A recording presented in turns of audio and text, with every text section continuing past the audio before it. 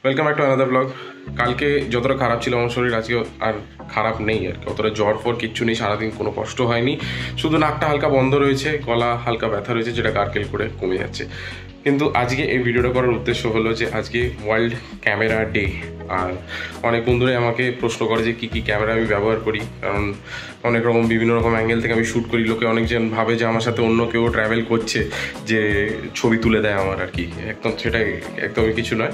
তো আজকে world camera ডেতে আমার কী কী ক্যামেরা আমি মোটামুটি ব্যবহার করি আমার ব্লগগুলো বানাতে, আমার হিন্দি চ্যানেলে এবং বাংলা চ্যানেলে আপাতত আমি মোবাইল দিয়েই করছি। তো ওই সব ক্যামেরাগুলো আপনাদেরকে আজকে দেখাবো এবং যারা নতুন শুরু করতে চায় তাদের একটা আইডিয়া হয়ে যাবে যে কীরকম কি জিনিস নিলে পিকচার কোয়ালিটি কীরকম হয়। মেন ক্যামেরা যেটা দিয়ে আমি ব্লগ করি, ওটা দেখানোর আগে আমি দেখাতে চাই যে কোন ক্যামেরাগুলোতে আমি শুরু করেছিলাম। মানে অফকোর্স ফটোগ্রাফি নেশা না থাকলে ভিডিওগ্রাফি অত ভালো হয় না। তো ফটোগ্রাফি জানতে হয় ভিডিওগ্রাফি করতে গেলে। তো এই পেছনে কিছু ক্যামেরা রয়েছে, যেগুলো দিয়ে আমি শুরু করেছিলাম। এটা হলো সবচেয়ে পুরনো ক্যামেরা এখন আর একদমই কাজ করে না।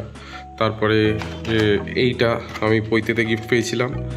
আর তাছাড়া হচ্ছে কোডাকের এই কেবি টেন এটা সবার ঘরেই মোটামুটি ছিল এক সময় চারশো নিরানব্বই টাকা বোধহয় পাওয়া যেত রিল ভরে ছত্রিশখানা ছবি, সুন্দর উঠত প্রতিটা ট্রিপে আর প্রথম ডিজিটাল ক্যামেরা বলতে ইউজ করেছিলাম এই যে এই ক্যামেরাটা কোডাকের তো এইটা এখনও চলে, শুধু এর লেন্সে প্রবলেম হচ্ছে যে মানে লেন্সটা খুললে আর বন্ধ হতে চায় না জুমটা হয় না। তবে দারুণ ক্যামেরা অনেক কিছু শ্যুট করেছিলাম। এটা আমার রাজস্থান ট্রিপ যেটা প্রথম বা আমার সাথে গেছিলাম, ওটাও এটাতে শ্যুট হয়েছিল। তারপর আমি যখন মানে ব্লগিংটাকে একটু সিরিয়াসলি নেওয়া শুরু করি মানে একটু মোটামুটি কোয়ালিটি কন্টেন্ট প্রডিউস করার চেষ্টা করি, তখন আমি এই ক্যামেরাটা দিয়ে ব্লগ করা শুরু করেছিলাম। এটা হচ্ছে ক্যানানের এম ফিফটি দুর্দান্ত ক্যামেরা। কেউ যদি প্রথম মিরলেস ক্যামেরা কিনতে চায় নিজের জীবনে মানে as a not just as a YouTube career as a photography career also মানে দুর্দান্ত ক্যামেরা। একটা ক্রপ সেন্সার ক্যামেরা, এত ভালো আউটপুট দেয়।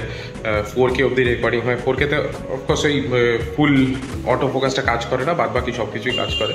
তো এটা হচ্ছে দুর্দান্ত ক্যামেরা ক্যাননের এম ফিফটি আর এটা লেদার কভারটা আমি লাগিয়ে রেখেছি কারণ এটার মধ্যে যে রাবারের স্কিনটা থাকে আর কি ক্যামেরার মধ্যে, ওটা ক্যানারের একটা রোগ আছে। আমি অনেকেরই দেখেছি যারা ফাইভ ফিফটি ডি বা সিক্স হান্ড্রেড ডি ইউজ করতো, সবারই ওই চামড়াটা উঠে যায়। তো আমারও সেই চামড়াটা উঠে গেছিল, আমি তো ফেভিকল দিয়ে ম্যানেজ করে ওটাকে একটু ঢাকা ফাঁকা দিয়ে রেখে দিয়েছি যাতে ভালো দেখতে লাগে। তো এই ক্যামেরাটা মোটামুটি আমার এখন বোন ইউজ করে আর আমিও মাঝে মাঝে যদি আমার কোনো সেকেন্ড অ্যাঙ্গেল দরকার হয়, তাই ইউজ করি। আর এর মধ্যে যে লেন্সটা লাগানো রয়েছে পনেরো পঁয়তাল্লিশ স্টক লেন্সেই আমি ইউজ করতাম, এটাকে চিরকাল আর খুবই ভালো লেন্স খারাপ নয়, তবে অ্যাপারচার ভ্যালুটা খুব একটা ভালো ওই ব্যাকগ্রাউন্ডটাকে এ করে না আর কি তো সব কিছুই মোটামুটি মনে হয় ফোকাসে রয়েছে, তো খুব ভালো ক্যামেরা আসল অস্ত্রটা দেখাই মানে যেটা দিয়ে আমি এখন আপাতত শ্যুট করি, ওটা দেখানোর আগে আমি দুটো ক্যামেরা আরও দেখাতে চাই, যেটা দিয়ে আমি ভিডিওগ্রাফি অনেক ভালো শিখতে পেরেছি এবং ফটোগ্রাফিও খুব ভালো শিখতে পেরেছি। সেটা হচ্ছে সোনির H X one hundred V এটা হচ্ছে ওই পয়েন্ট অ্যান্ড শ্যুট ক্যামেরা কিন্তু এর জুম ভ্যালুটা বেশি ছিল বলে তখন এই ক্যামেরাটা কেনা, তখন অমরনাথ ট্রিপে যাচ্ছিলাম মা বাবার সাথে। আর একটা ভালো ক্যামেরা অফকোর্স দরকার ছিল। আমি তখন এডিটিং জানতাম না ফুটেজগুলো সব নষ্ট করে ফেলেছি নিজের দোষেই। কিন্তু এই ক্যামেরাটা আমাকে অনেক হেল্প করেছে শিখতে ফ্রেম রেট কাকে বলে, তারপরে রেজলিউশন কী জিনিস তারপরে কীভাবে ফ্রেমিং করতে হয় রুল অফ থার্ডস এর মধ্যে অনেক রকম অপশানস ছিল এই ক্যামেরাটার মধ্যে যেগুলো ইউজ করে করে আমি ভিডিওগ্রাফি এবং ফটোগ্রাফি শিখি। আর ম্যানুয়ালেও শ্যুট করা যেত, অনেক কিছু করা যেত জাস্ট দুর্দান্ত ক্যামেরা মানে এখনও যদি আমি এটা দিয়ে চাঁদের ছবি তুলতে যাই, চাঁদের বিশাল ভালো ছবি উঠবে। আমি যখন সোলার এক্লিপস হয়েছিল গত বছর দু হাজার উনিশের এন্ডে তখন এটা দিয়ে আমি সোলার এক্লিপসটা তোলার চেষ্টা করেছিলাম এবং খুব ভালো এসেছিল। আমার কাছে ফুটেজগুলো হারিয়ে গেছে। আর দ্বিতীয় যে ক্যামেরাটা সেটা হচ্ছে সবার ঘরে ঘরে নিশ্চয়ই ছিল এক না এক সময়। সেটা হচ্ছে এই সনির হ্যান্ডিক্যাম এই হ্যান্ডিক্যামটা যেন মানে একটা ফ্যামিলি মেম্বারের মতন ছিল যে কোনো ট্রিপে সবসময় যেত জাস্ট একটা ওই সিসিটিভি ক্যামেরার মতো সবসময় অন করতো, বাবা কী করছে, মা কী করছে ট্রিপে কী হলো, কোথায় ঘুরলাম ফুলের, ফুলকে একদম জুম করে ঢুকে পড়ছি, মৌমাছি দেখতে পাচ্ছি সব কিছু এটা দিয়েই তোলা হতো।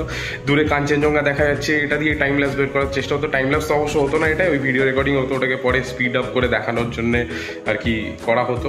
তো তবে এর একটাই প্রবলেম ছিল, এর মধ্যে ফ্রেম রেট সেট করা যেত না, ওই একটা কি ফিফটি আই না কি এরকম একটা আমি বুঝতেও পারতাম না এর মধ্যে সেটিংগুলো তবে ওইটা হচ্ছে মানে এইটা হচ্ছে ভালো আমি ওই এইচ এক্স ওয়ান হান্ড্রেড ভিতে কাজ শিখেছি। ফাইনালি যে ক্যামেরাটা সবাই জিজ্ঞেস করে যে কোনটা দিয়ে এখন আপাতত শ্যুট করি এবং বগুড়ান জলপাইয়ের শটগুলো আর আমার রিসেন্ট হিমাচল প্রদেশের পর থেকে যতগুলো ট্রিপ শ্যুট হয়েছে, সব এই ক্যামেরা দিয়ে শ্যুট হয়েছে। মানে অনেকেই গেস করেছিল ঠিকঠাক, আমার অনেকে জিজ্ঞেস করতো যে, কি তুমি কি এই ক্যামেরাটা ইউজ করো? হ্যাঁ এই ক্যামেরাটা ইউজ করি। তো ক্যামেরাটা হলো সোনি এ সেভেন থ্রি আমি সোনি মানে যখন আলফা সেভেন সিরিজের নতুন নতুন যখন ক্যামেরা বেরোচ্ছে, সেই সময় আমি ক্যামেরাটা কিনে ফেলেছিলাম। মোটামুটি একটা খুব ভালো ডিলে আমি ক্যামেরাটা পেয়ে গেছিলাম নতুন অবস্থায়। আর দ্বিতীয় কথা, তারপরে আমি কেনার পরে পরেই তখন এ সেভেন আরও অনেক নতুন ভার্সনগুলো বেরিয়ে গেছিল, যেমন এ সেভেন সিও বেরিয়ে গেছিল, যেটা মানে সিনেমাটোগ্রাফির জন্য খুব ভালো ক্যামেরা। ছোটোখাটো যারা ব্লগিং টগিং করে, তাদের জন্য খুব ভালো। কিন্তু এইটা হলো আমার মেইন ক্যামেরা।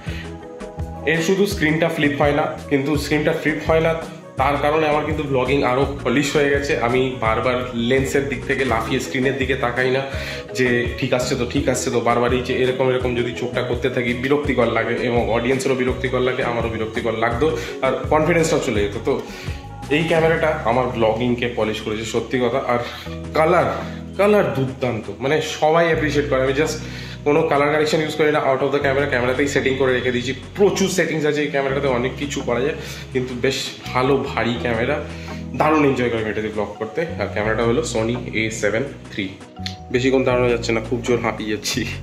তো যারা জানতে চাও আমি যে মোটো ব্লগিংয়ে কোন ক্যামেরাটা ইউজ করি, সেটা হলো none other than GoPro Hero five আর এই হিরো ফাইভটা বেসিক্যালি একটা হিরো টু থাউজেন্ড এইটিন যেটাকে আমি হিরো ফাইভে আপগ্রেড করে ফেলেছি।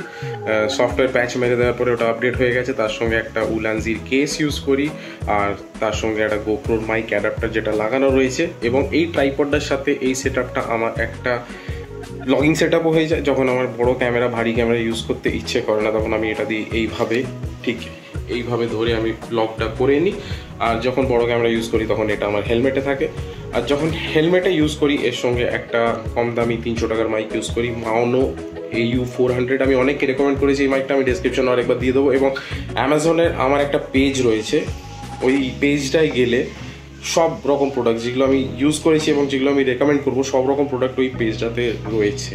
তো ওটা অবশ্যই গিয়ে দেখো, ওখান থেকে শপিং করলে তোমারও বেনিফিট হবে, যে আমি যেটা ইউজ করি সেটা তুমি ইউজ করতে পারো দ্বিতীয় কথা আমারও একটু বেনিফিট হবে।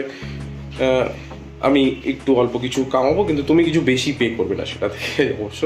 তো একটু হেল্প করো, তোমার দিক থেকেও, আমার দিক থেকেও। তো এটা হলো আমার মোটো ব্লগিং ক্যামেরা এবং এই এই জিনিসটা খুলে আমার হেলমেটে লেগে যায়। খুব ভালো ক্যামেরা দুর্দান্ত ফুটেজ দেয়। আমি নর্মাল যেটা গোপ্রো কালার ওই সেটিংসে ইউজ করি। কোনো তুখর কিছু কালার কারেকশান এবং ওই লাত মারি না আমার ভিডিও লাত মারি না বলছি। লাট এলিউটি মানে ফুল ফর্মটা যাই না। তবে অনেকে কি করে, আজকাল সিনেম্যাটিকের নামে প্রচুর নারাঙ্গি ফেলে দেয়, মদ ফদ খাইয়ে দেয় ভিডিওটাকে দিয়ে, নেশার মতন দেখতে লাগে, ভিডিওটা খুব বাজে লাগে, আমার পার্সোনালি খুব ভালো লাগে না, আমি সাটল আউটপুট ভালোবাসি এবং ট্রানজিশনও ইউজ করি না, এরকম নয় যে ট্রানজিশন না ইউজ করলে তুমি একজন ভালো এডিটার নয়, সেটা জীবনে ভাববে না ট্রানজিশন ইউজ করাটা হচ্ছে খুবই বাচ্চাদের মতন কাজ। অনেকে ইউজ করে, যারা ঠিক জায়গায় ঠিক রকমভাবে ইউজ করে, তারা হচ্ছে প্রফেশনাল কিন্তু যারা সব জায়গায় একটু একটু করে, অল্প করে হেগে দিয়ে আসে, সেটা হচ্ছে খুব বাজেভাবে ইউজ করা এবং সেটা এডিটিং বলে না। তো এই কটাই হলো আমার ক্যামেরা বাদ বাকি এর সঙ্গে কিছু কিছু লেন্স রয়েছে যেগুলো আমি ইউজ করি। একটা হচ্ছে ষোলো পঁয়ত্রিশ সোনির সাথে যেটা আমার মেইন ব্লগিং লেন্স হয়। আর তার সাথে ফিফটি এম ইউজ করি।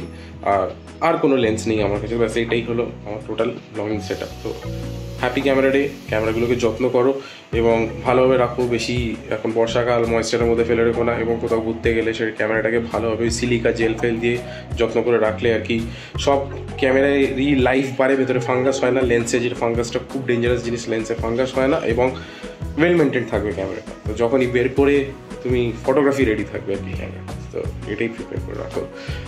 তো আজকের এই ব্লগটা এতটাই। আমি ওয়েট করছি আমার রিপোর্টটা আসার। জানি না কী হবে, যা হবে জানিয়ে দেবো। এবং অনেকে আমার আগের ভিডিওটা দেখে আর কি ফোন টোন করে জিজ্ঞেস করছে যে, কি হলো কি হলো? আমি তো কিছু বলিনি আমার কি হয়েছে। আমি লিখেছি যে, হায় ভগবান, আমি আবার পজিটিভ আমি কি পজিটিভ কি হয়েছে? কিছু আমি বলিনি সেরকম। তো ঘাবড়িও না টেনশন নিও না। জ্বর সর্দি, কাশি সব মানুষেরই হতে পারে এবং এই সিজন চেঞ্জে ওয়েদার চেঞ্জে অনেকেরই হচ্ছে। তো চিন্তা করার কিছু নেই। তো thank you for watching this video thank you for making me part of the day আবার দেখা হবে পরের ভিডিওতে সুস্থ হয়ে যাই, তারপরে কোথাও বেড়াতে যাওয়ার ভিডিও হবে, অথবা, অথচ আমি কোথাও গেছিলাম, সেই তারই একটা ছোটোখাটো ট্রাভেল গাইড বা যেটা যেরকম হবে পসিবল সেটা আপনাদের সাথে শেয়ার করব। আর একটা ছোট্ট সাজেশন কন্টেন্ট বানাতে ভয় পেও না। কন্টেন্ট বানিয়ে যাও। আমি যেমন মোবাইলে শ্যুট করছি মোবাইলে শ্যুট করেও ভালোভাবে কন্টেন্ট বানানো যায় এবং এরকম কন্টেন্ট বানিয়ে যেটাতে অডিয়েন্স তোমার সাথে ইন্টারাক্ট করবে এবং অডিয়েন্স তোমার সাথে জুড়ে থাকবে।